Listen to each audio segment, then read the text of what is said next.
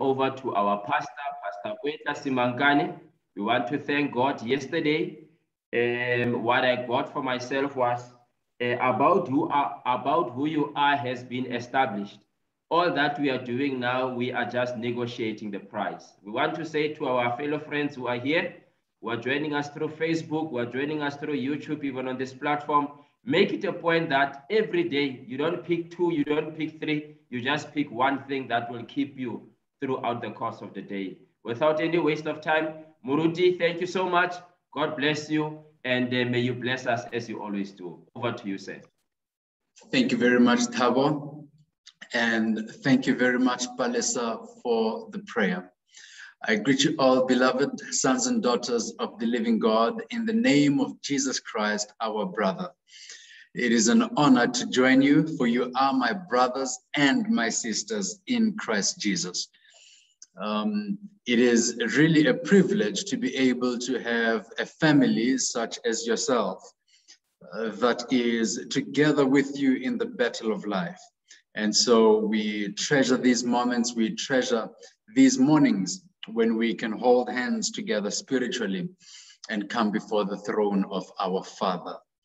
I want to read a couple of texts this morning.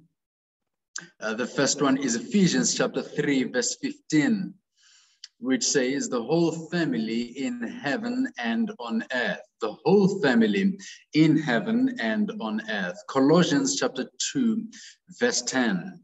Part B says, He is the head of every power and authority, having cancelled off our legal indebtedness, which stood against us and condemned us he has taken it away, nailing it to the cross. And to this I say, Amen. And having disarmed uh, the powers and authorities, he made a public spectacle of them, triumphing over them by the cross. And finally, Ephesians chapter 6, verse 12. For our struggle is not against flesh and blood, but against the rulers, against the authorities, against the powers of this dark world, and against the spiritual forces of evil in heavenly realms. The grass withers and the flower fades, but the word of our Lord shall stand forever. Let us close our eyes in prayer. Father in heaven, speak to us. May you touch my lips and I humble myself and ask that, Lord, you may override the humanity so that you may reach your children. May you speak to all of us. May you encourage us and may your power, your recreative power be at work this morning. We ask in Jesus' name, amen and amen.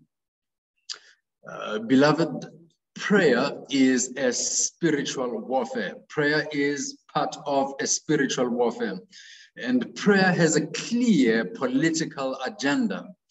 Uh, God as king over all on earth and in heaven. That is the goal, that is the agenda of prayer. You see, the Lord's Prayer ends For thine is the kingdom, the power, and the glory forever and ever. Amen. When you come before the throne in prayer, what you are engaging in is not simply request. What you're engaging in is not simply conversation. What you're engaging in is warfare. And I want to submit this morning that we have been given a tool through which we can have victory in Jesus Christ. You see, Christ is Lord, Christ is King. Christ has conquered the devil, disarmed the powers and authorities. He has triumphed over them by the cross. Christ sits on the throne, and Christ, and in Christ, we too have the victory. Uh, families, beloved, often have inner conflict I want you to understand when we speak about spiritual warfare, where we are coming from. Families often have inner conflict. You remember Abraham's family, they had conflict.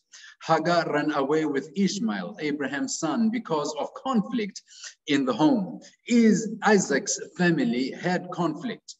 Uh, Isaac's wife connived with his son Jacob to deceive him Isaac, that is, from the birthright and the blessing. Jacob's family itself had conflict. His sons sold his favorite son, Joseph, to the Ishmaelites and Midianites and told him that he, that is Joseph, had died at the claws of a wild animal. You get the point. If there is conflict in your family, beloved, may God restore love and peace. Many of us in our homes, uh, in settings that are dysfunctional, or our relationships may have began with sweetness, but they have turned sour. Our relationships and our families uh, seem to have had the foundation put. And if there's any institution that the devil is attacking it is family. And so i pray for your family today. But surprise surprise uh, conflict began in god's own family Follow me. When Adam and Eve were created, they already were sons and daughters of God. They already were sons of God. Recall God's question to Job in Job 38, verse 4. It says, Where were you at my laying the foundation of the earth? when the morning stars were singing together and all the sons of God shouted for joy as God was creating, this is the picture we get. As God was creating, the sons of God were watching and they're shouting for joy. They were shouting for joy as they watched God in the splendor, in the miraculous, in the glorious work of creation one of these sons of God, one of these part of this family of God that is described before we come into the picture. One of them is described in Ezekiel 28. You were the seal of perfection, full of wisdom and perfect in beauty. You were in Eden, the garden of God. You were anointed as the guardian cherub, for so I ordained you. You were blameless in your ways from the day you were created till wickedness was found found in you uh, mathata a simologa gonefa ya qala inkinga right here. This is where the problems began when this one who was perfect when God created him. When this one, who was a part of the peaceful family of God, sin was found in his heart. And the Bible then begins to describe what happens. You were filled with violence, it says, and you sinned. And so the Bible says, I threw you to the earth. Isaiah 14 also describes him. It says, You uh, how you have fallen from heaven, morning star, son of the dawn. You have been cast down to the earth. And that is unfortunate for us. And uh, Revelation itself gives a warning to us because it says that the devil has been cast down to the earth and he knows that his time is short. But back to uh, the Old Testament, it says, You said in your heart, this is where it began, I will ascend to the heavens. I want you to understand uh, the political happenings here. I will raise my throne above the stars of God. I will sit enthroned on the mount of assembly. I will make myself like the Most High. Beloved, this is an attempt at a coup d'etat. This is an attempt at nothing else than to dethrone God from his throne and to sit on the throne of God, to be the one that is taking care of that heavenly family heavenly family and of that great assembly. In Job chapter 1, we begin to understand when the assembly comes, uh, when the sons of God come to present themselves before God. Watch this. This Satan comes with them, this one that has just been described, and his report, for they are all bringing a report, is that he is coming from the earth. This liar and murderer, he lies about God and uh, goes about as a thief to kill and steal and to destroy. All of the malady, all of the sickness, all of the trouble in this world has come because of this began with other spiritual beings in God's family. And he deceived them and took a third of the angels, the Bible says. But he is on earth right now like a roaring lion seeking whom he may devour. Beloved, this is what you ought to understand that we are in a spiritual battle between good and evil. And this angel, this son of God, this one who was part of the family of God, he went astray, but he took others with him in warfare against God. And today he is here still waging that warfare. Um, he does not do his work alone in this battle against uh, against the battle between good and evil. And he has convinced the spiritual beings by deception that they can overthrow the throne of god. And so by sin those that sin become a part of this great agenda. Uh, when you are to understand what paul says paul says for the wages of sin is death but the gift of God is eternal life. The word that Paul uses when he says wages is opsonion. And that is not just uh, wages of an ordinary citizen. Opsonion are the stipends that were given to soldiers. And so he is saying that when you sin, you have enlisted yourself as a soldier and you are participating in warfare. You are not just doing ordinary citizenry stuff. You are not just being a common man in the in, in, in a kingdom. You are engaged in warfare and you will get your soldier's pay. And so, beloved sinners are also working together with the devil. And as we saw yesterday, unfortunately, we often, Thabo, have made it appear as if we are better than others. And yet, what we are when we sin is established. All we are doing in sinning is uh, uh, negotiating the price. But I want to say today that that is not what we ought to be. In Christ, we are not here to negotiate the price. In Christ, we are established as the sons and daughters of God. And we must pray for the infilling of the Holy Spirit that transforms us to become like God, to become like Christ, restored as images of God in this world. Uh, but, beloved, I want you to follow this. I have sometimes wondered why God allows evil. When you look at what happens here in this coup d'etat, God allows uh, the devil and he allows this Satan together with his minions to wage their warfare. And he gives them a long rope to hang themselves, right? He gives them a long rope to hang themselves. Have you ever wondered why God allows evil? Why he has allowed for this situation to maintain and persist?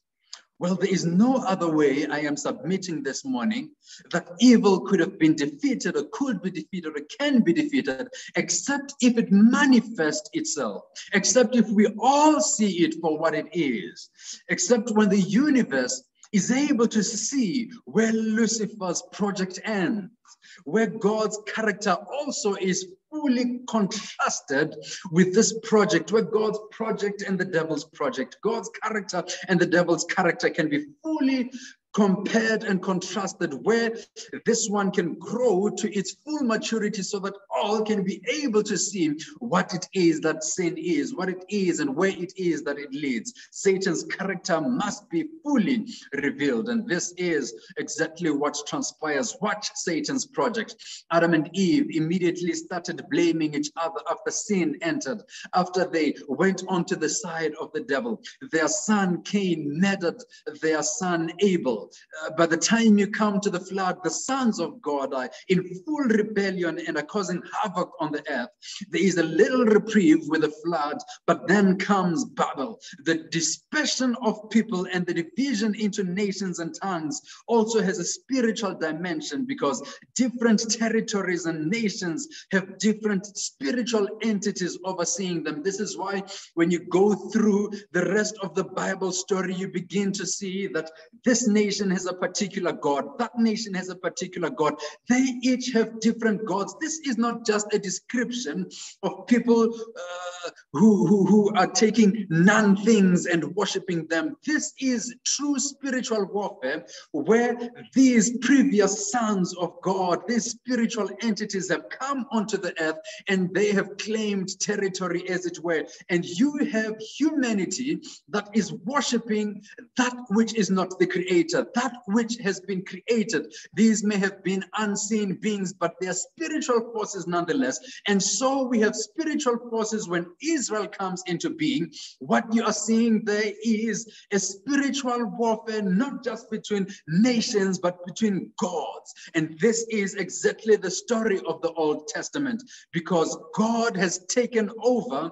He has, in fact, created one nation, a nation to whom he says, I will be your God and you will be my people. And through you, I will manifest and reveal to the whole earth who the true God of the world is, who the creator is. Um um um and he says, Abraham, I am Jehovah Jireh.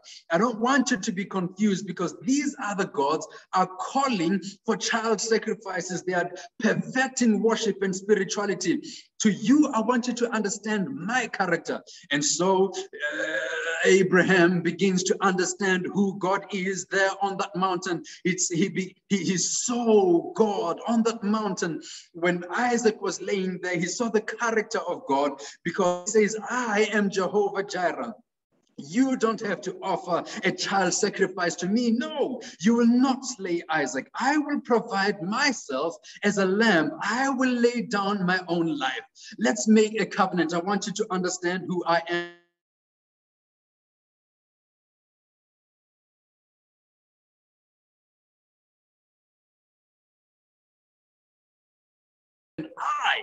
God will lay down my life. My way is the way of self sacrificial love, selfless love. The devil is a liar, and the universe will see it. Uh, Abraham, I want you to understand that I am different than all of these. And so, uh, this is why God speaks to the Israelites and says, Please don't follow these other ones, don't follow these other gods. I want you to be clear on who I am because they are perfecting everything. Be clear on who I am and worship me alone. Thou shalt have no other gods before me. Oh, beloved, uh, my love is patient, God says. Let the devil uh, throw everything, and I will show my power not by preventing his evil, but by exposing it and overcoming it. I want you to listen to that. God will overthrow the devil not by preventing his evils, but by allowing his evils to be manifest and in those evils overcoming them and exposing them. Follow me. Let him make the fire seven times hotter if he wishes. I will not prevent the fire from being made seven times hotter. Let him make it seven times hotter. Yes, in fact, let him throw my boys in the fire, but I will show my power in the fire. Nebuchadnezzar knew the power of God, not because God's people were prevented from being thrown in the fire, no, but because they were thrown in the fire. It was because they were thrown in that God reveals himself. This God has power over the fire. Shadrach, Meshach, and Abednego, your God will be my God. In fact, Babylon, there is no God like their God. Are you going through a fire today? Maybe it is seven times hotter hotter than it ought to be. Uh, beloved, may God walk with you in the fire. May He preserve you in the fire and protect you not from the fire, but in the fire. Sometimes I have wished that God would keep me from trouble. I would wish that God would keep me from stresses, that God would keep me from the common issues of this world. But oh, beloved, our spirituality, our prayers, our faithfulness do not exempt us from the troubles of this world.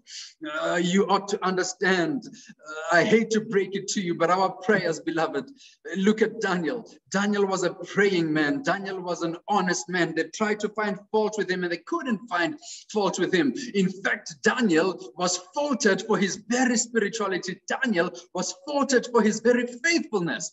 And watch this it is his prayers that led him to the lion's den. I want you to know, beloved, in this battle, this is not for the fearful. This battle is for those that understand understand that we are soldiers of the Lord. This battle is for those that understand that we are waging in warfare. It is not for those that will uh, tumble and fall at the nearest little temptation, at the nearest little struggle. We must be ready for the devil to throw it all and say, like Shadrach, Meshach, and Abednego, that let him uh, throw us in the fire if he wishes. But our God is able uh, to deliver us from the fire. And even if he does not, we will not bow down. Beloved, there is a time of trouble such as never has been that is coming onto this world. I want to challenge you, prayer warriors, to understand that we will not be, as it were, exempted from troubles in this world, but there will be a time of trouble when the uh, Son of Man comes. There is a question that is asked, Who are these? And the Bible says, These are they that have come out of great tribulation. Yes, indeed, we were in great tribulation, but we were delivered while we were in the fire. God was with us in the fire. I want you to understand that we are not wrestling against flesh and blood. So let the devil's uh, plot go on. Let the devil chant out his fires and build those gallows. Let him throw everything at the Son of Man. Let him make a crown of thorns and nail him at the cross. Pierce him on the side if he wishes. Let all the demons in hell gather to plot and kill the Messiah. Peter, put that sword down. Let the devil expose himself because that is how God wins in the end by allowing allowing the devil fully to expose himself, fully to express himself. And in that moment, in that fire, in that hell, God defeats the devil. The universe watched in horror as Lucifer's true colors shone uh, through in his high definition and crystal resolution. There it was. It could not be mistaken anymore. The universe can never be lied to again. They know who the devil is. He is a liar. He is a murderer from the beginning. And at the cross, his colors were put forth for all to see. At the cross, now the lie has been exposed. There is nothing more that can be said because now who he is is known for all to know.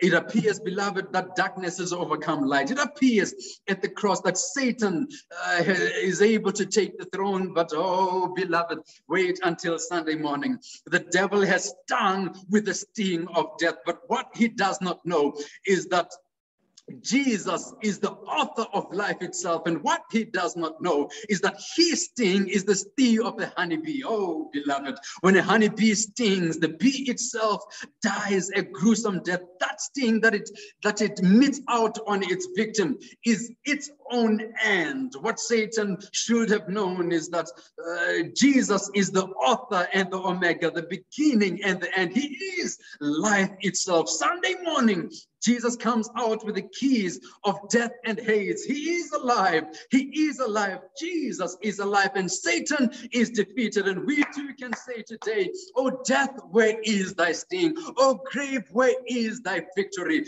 Because, like Nebuchadnezzar, we have been able to see his power over the fury of the enemy. Like Nebuchadnezzar, we've been able to see that though the fires are made hotter than they are made meant to be, yes.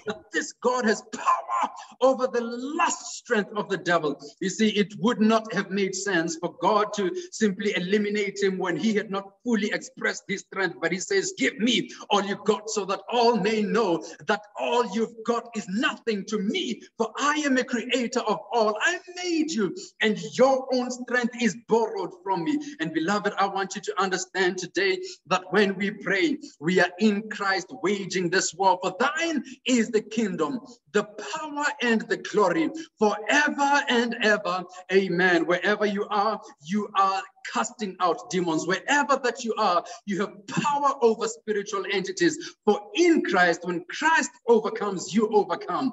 Paul says, I've been crucified with Christ, and I no longer live, but Christ lives in me. And watch this. Paul also goes on to argue that if we are in Christ in death, we are with him also in the resurrection. If we are with him on Friday, we are also with him on Sunday. If we are with Christ when he says it is finished, we are with him also as as he ascends. And so Ephesians 1 verse 6 says, For we have been lifted up with Christ and seated with him in heavenly places. Oh, beloved, when you are in Christ, no demon in hell can do anything to you. When you are in Christ, you have power and authority over entities, over powers in this world. When you are in Christ, there is nothing that can bring you as a victim, for you are more than conquerors in Christ Jesus our Lord. Oh, beloved, I wish you would understand that the family affairs that we are in uh, come from a long time ago. The struggle is a family issue that comes from a long time ago. But we in Jesus' blood have been given the power and the victory. And I pray today that all of us, wherever we are, may we wage spiritual warfare. May the devils tremble. May the devil not have his way anywhere. May he be cast out wherever he thinks he is an authority. May in Jesus' name he be taken out in the name of Jesus Christ. This is my prayer. Father in heaven, we want to thank you for you've given us the victory. We want to thank you for at the cross, you defeated the enemy. At the cross, we want to thank you because light won over darkness, love won over hate. We want to thank you that at the cross, we know who you are. We want to thank you for at the cross, we also know who the devil is. The devil is a liar, and we will never be deceived again. Father, may your Holy Spirit keep us on the path. May the Holy Spirit give us what we need to continue this family affair of the kingdom of God to make sure that indeed in our lives, in our communities, thine is the kingdom, the power and the glory forever and ever. Amen.